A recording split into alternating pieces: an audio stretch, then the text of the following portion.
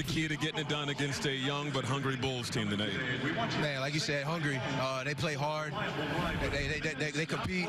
You know, at the end of the games, it may not go their way, but they play hard through all 48.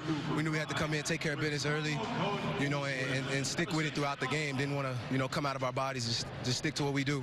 How big has the bench been for you guys lately? Big time, big time. Like I said, any given night, anybody can step up and, and, and play the part and, and separate themselves. But tonight, we, we all played a part. I saw the, the reaction to some of the Jarrett Allen dunks. You guys celebrating after threes. What's the chemistry like of this team? How much fun are you guys having? Man, it's great, man. Our, like I said, our atmosphere, the aura around this team is, is growing every day. The, the chemistry that we're getting is growing. You know, we watch film. You know, we, we take the constructive criticism. We take the adversity that comes with that. And we, we're all buying into it. And the, the, the result into that is a win. You tied a career best with your fourth straight game, scoring at least 20 points. How do you strike that perfect balance between when to attack and score and when to distribute? Just come out the gates aggressive.